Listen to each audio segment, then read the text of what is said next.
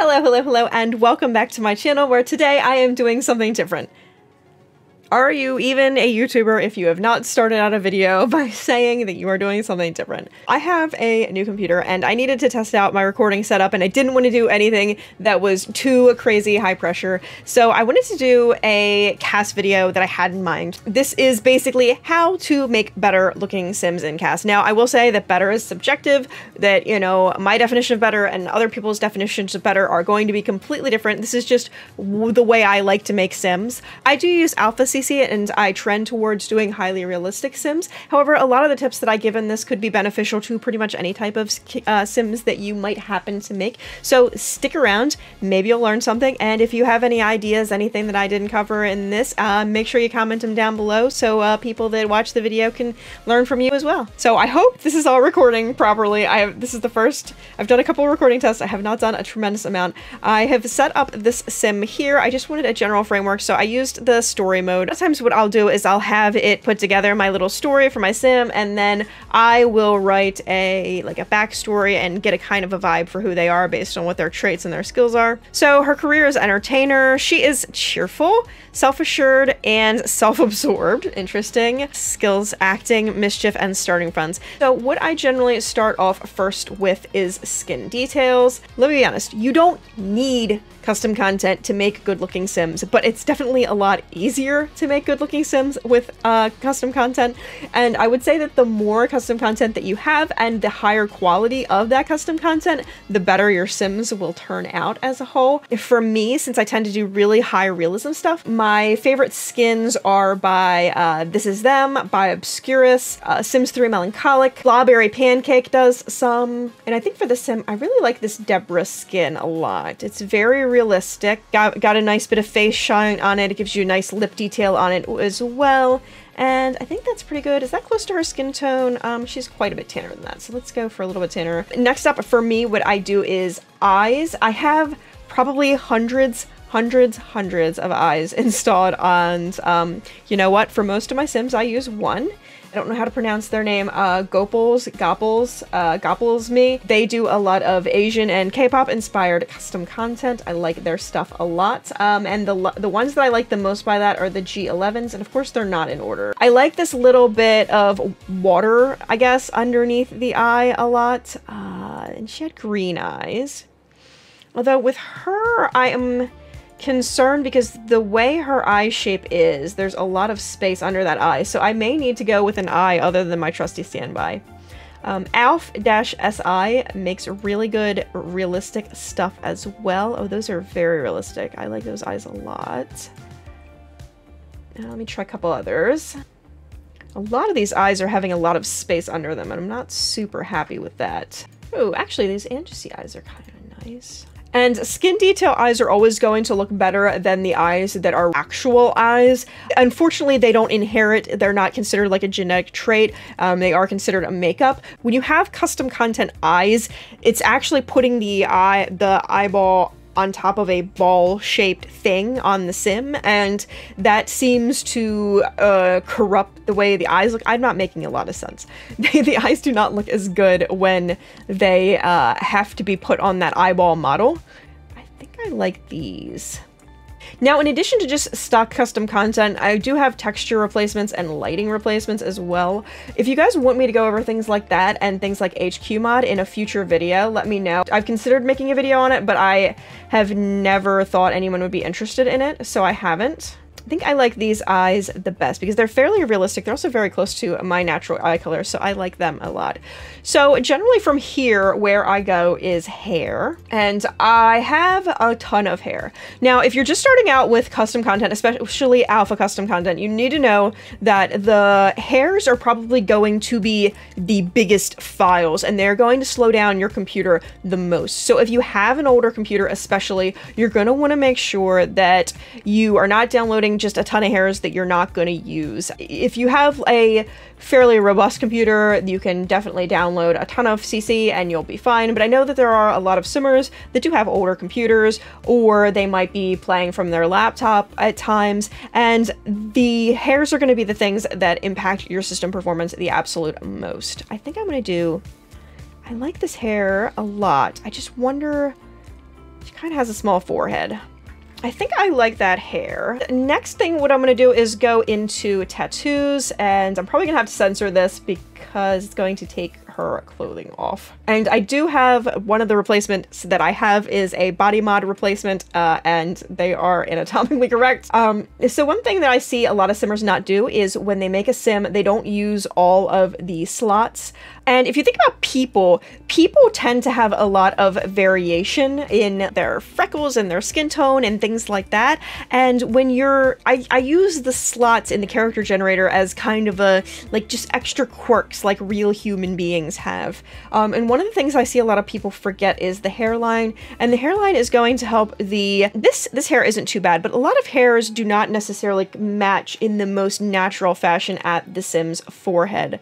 So if you look her hairline, it kind of just blurs weirdly into her skin a little bit. And if you add a bit of a hairline, it adds a little bit of a darker root that makes the hair look more natural. It looks less like a wig. It looks more like it's growing out of the character's head. And I, I don't see a lot of people use hairlines on characters. And it's one of the things that I feel really helps to up the realism level. So I'm using a very hyper detailed skin I'm using a fairly realistic skin, but in terms of face details, a lot of people just will just slap a skin on there and be good to go.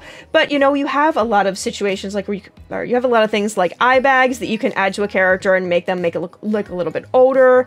You can do mouth corners to make their uh, expression to make it look a little bit more smiley. You can change your nose shape that way. That's a really good way because a lot of characters just have very undefined noses, so a lot of times I'll use nose masks for those characters. If you're using hyper-realistic skins, it's not as necessary because you already have a little bit of under eye, you have uh, nose definition and stuff like that. But those are good things to keep in mind, especially things like face shine. Um, she's got a decent bit of face shine, but there's a lot of skins that look quite flat. Uh, let me actually change her skin details at for a second. So if you look on this on this skin, there is not as much lightness around the forehead, the under eyes, on the nose, and things like that. And for a skin like this, I would probably use a face shine mask in order to give her a little bit more of the natural kind of human brightness to her face and to emphasize, uh, you know, the straightness of the nose and such. So if you look that makes a small but it makes a small difference but it makes it adds some roundness to the chin it adds some definition here it adds definition under the eyes and things like that all add together to make a sim that is far more realistic. I also like these right here they're the little um, face shine as well. And obviously you can add some wrinkles and stuff. And all those things are just going to add together to add more character to your character. And this is an example of a nose mask. Now, the better ones like this one actually have a bunch of different colors and you just match it to the closest tone of your Sim's skin tone and that'll reshape their nose a fair bit. I mean, that just completely reshapes the tip. And that's a really good way to avoid having a sim that looks like all of the other sims. So I'm going to take those off for now and put her back to that original skin because I think that looked super cute on her. When I say use all the slots, I also mean makeup slots as well. I put makeup on all of my sims, including my male sims. I use almost every almost every slot for the male sims as well. I like to use for lips, they have lips that just um, Obscurus is really good with them where they just are natural lip skin tones and they just make it look a little bit uh, they make the, the lip wrinkles look a little bit different. These will fit a male character as well. These uh, ones by Gopals Alpha SI has ones as well that are all kind of uh, natural lip colors that allow you to just again make your character look a little bit different and a little bit more realistic. I think I think for her I'm going to use these Obscurus lips. This little they're a very natural hue, but then there's just a little hint of gold down the middle, and I just think it's the classiest thing ever. For cheeks, if I couldn't do a skin detail highlight, I will do it here. I, I, think face highlight is probably the most important thing. This face shine that adds definition and dimension to the face is probably the most important thing to making your character more realistic. So if you can't do that with a skin detail, I do that with a blush. So I have a lot of highlighter blushes and highlighter blush combos. Um, I really like, I, my big thing right now is pink noses. I didn't used to like them because I do have rosacea myself and I do everything in my power to keep my face from being red. But I have to admit that Sims look more realistic when you when they have a little bit of red on their face. Um, even male Sims, you know, people have blood. That's just how people do. This Alpha SI highlighter is probably one of my favorites because you can do a super blinding popping highlight and that just it goes to emphasize like from this angle you can see like the shape of her nose this is why I love highlighter. This is why I wish I knew how to do highlighter in real life, but I don't. So I just do it on all of my Sims. I think for her, I'm going to do... I have this blush combo that has freckles that I enjoy a lot. I like freckles because most people have natural blemishes on their skin. That's just how skin is eyeliners. I have um, some fairly subtle, um, does a lot of subtle eyeliners that I use for male characters that just add a little bit of eyelashes and a little bit of eyeliner. If you guys want me to see, uh, want to see me do a video where I make a male sim, let me know. I'd be, I would be happy to, uh, because I think that a lot of people don't know how to don't know how to put makeup on male sims without, mm, you know, doing a James Charles type sim. Um, they don't know how to make a character have a natural look using makeup. So if anybody's interested in that, I would be happy to do it. Eyeshadow. This is where eyeshadow can be really interesting. Um, so I do a lot of Asian characters, Asian male characters, and it's hard to find skin details that do that have a monolid. So in addition to just having eyeshadow, there are actually eyelids. It will change up the shape of the character's eyelid. Just like the nose masks, you match it to the color of the character's skin and it changes the shape of that eye area. Um, let me see if I can find the one that's for monolids because that's actually a pretty significant... There it is. So if I had an Asian character and I wanted to do a monolid, this will take away the, uh, the, uh, the, what do you call an eyelid that's not a monolid? The bilid? I guess I should, bilid eyelid? I, I, don't know. And that's what I do on uh, a lot of my male, like, K-pop uh, stars. She uh, is not going to have a monolid. So a lot of times if I'm just trying to do a no makeup look, I'll just do, like, a light brown, kind of almost smoky eye, just to make the eye pop a little bit more. That's a little bit more than I was going for. yes, this is how I do subtle makeup. Immediately puts on not subtle makeup. If you're somebody who likes to do story Let's Plays, there's a lot of makeup available that you can use to do things like black eyes and bloody noses and stuff like that, so I tend to keep a lot of that stuff around too. I haven't had a chance to use it in a story yet though, so I'm gonna have to find a reason to do that. You know, I said that I was to do a subtle look on her, but I'm just... Her eyes are just begging me to do something that's not subtle. Uh, I might do something not subtle. this is how it's creating Sims goes for me. The problem I have is that she's so cute and everything looks good on her and I can't stop. For eyelashes, even though she does have eyelashes already, since I went with a bolder lip look, I am going to do some of the Kijiko eyelashes. They are amazing. I also love these ones by MM Sims for a little bit less of a glam look because uh, the Kijiko ones are a little bit, they're, they're, woo! That was weird. I am still going to go with somewhat subtle uh, lashes because I don't want to go too crazy. I've held off on doing her eyebrows uh, because eyebrows is one of the things that takes me the longest on Sims.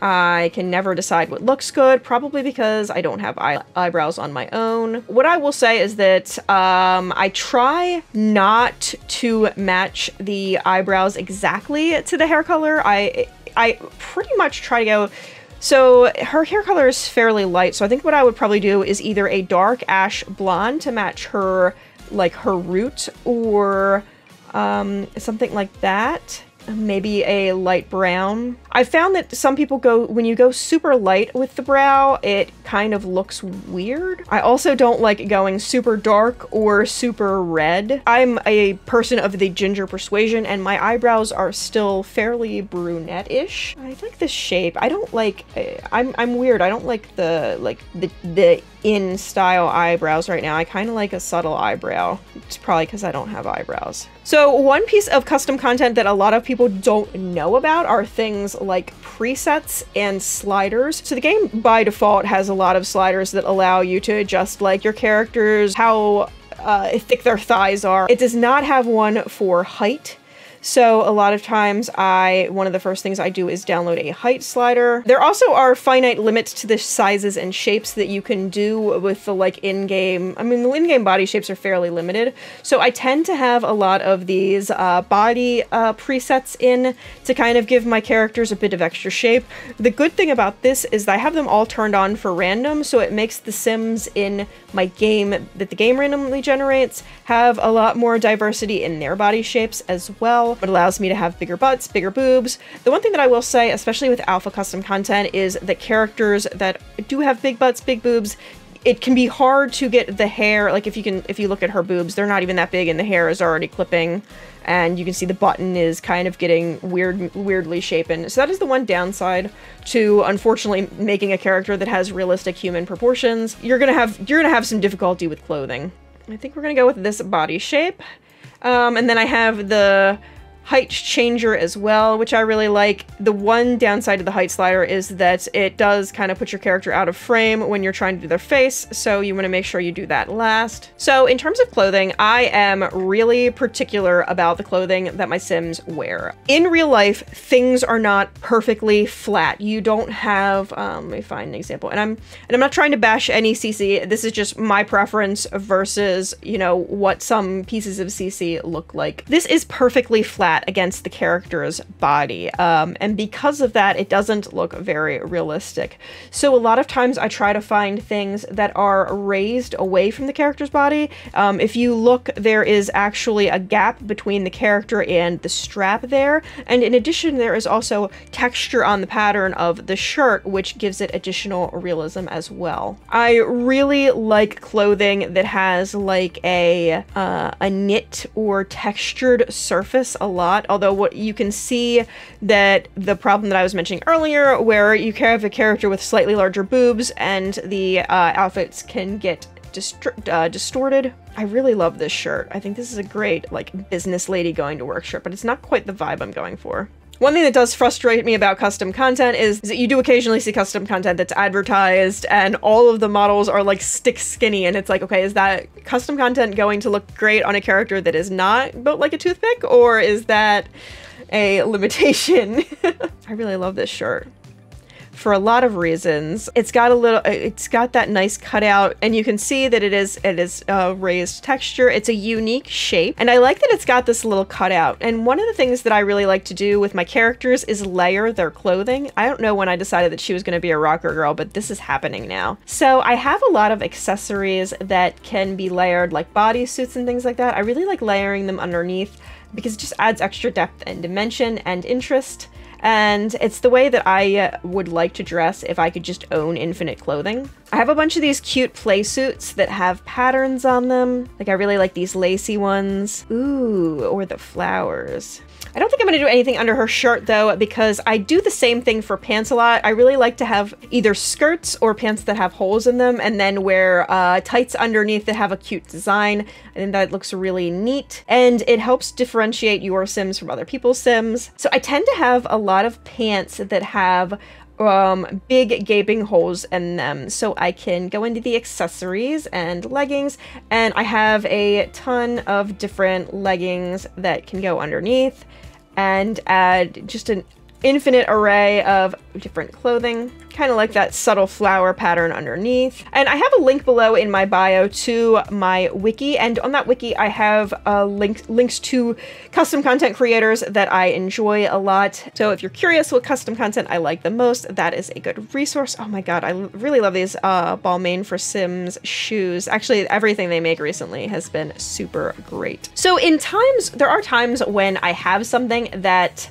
I want to use for some reason, but it is flush up against the skin, and this is when layering can come into play again. So let's just say that there's something particular about this this top that I really, say I really need to make a sim with a pink top. So I have a jacket over top of it to make it look more visually interesting or I could do a necklace that try that hits around this part of the neck to try and distract from the fact that the neckline is so flat. Yeah, I can use these little guys underneath as well to make it more interesting looking. Have this interesting off-shoulder jacket. So you could do something like this, and then a, you know, to put your Sims height down until you're ready, and then I do it myself. I like these layered necklaces a lot because they can distract from a flat neckline. For male Sims, you can do a you can do like a scarf or something like that. I really like scarves and neckties. So scarves can work too. That's a pattern go put her shirt back on. For pretty much every skin, the fingernails look super weird, so I almost always use custom content fingernails, even for my male sims, even if it's just to put like a little bit of skin tone on their hands. The ones on this skin aren't awful, but I find that it helps a lot. And arms on sims just, for some reason, look weirdly bare to me, so I find that sims just don't look right if they don't have something on their arms and hands. So I, I weirdly, I'm not into bracelets and stuff uh, and rings in real life or watches, but for my Sims, I pretty much have all of them have some sort of like watch combo situation and a ring and some fingernails on. Maybe I just my my Sims are the perfect people that I can't be. I really like long nails on my Sims too because I can't do long nails. And I mean, she wants to be an actress, so she's got to be that that glam glam look. Oh, did that take off her tights? What took off her tights? Oh, those are better tights anyway. So this is my sim. She is Natalie Sloan. And let me teach you something else about a mod that I have that I really like. This is a problem that I have. So I will make a sim and I use makeup. I use, I fill up all of my slots for all of my sims. And that's really annoying to have to put on all of my outfits.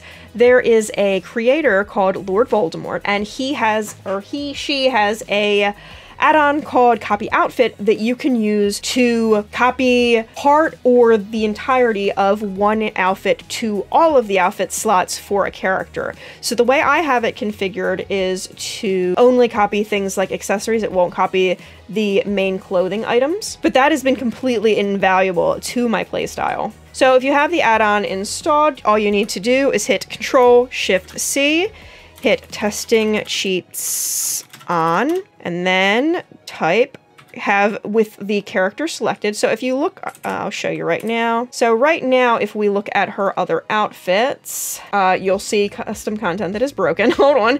Right now, if you look at her other outfits, you'll see that she's got some wild and crazy custom content. But if you copy outfit, it will copy all of her, it, it's copied all of the accessories from her everyday look into her other looks. She looks super thrilled with her day. So I think that's all that I have for you guys today. If you'd like to see videos about HQ mod, about how I manage my CC, or about me doing the same kind of a thing video with a male sim, please let me know down in the comments below. If you have any tips for other people, please leave them in the comments below as well. Sorry if this felt a little bit awkward. I've I don't normally try to talk a lot while I'm doing a character in CAS, so uh, it was a bit weird for me, um, but I hope it was enjoyable for you guys. Don't forget to like, comment, and subscribe, and have a wonderful day. Bye-bye.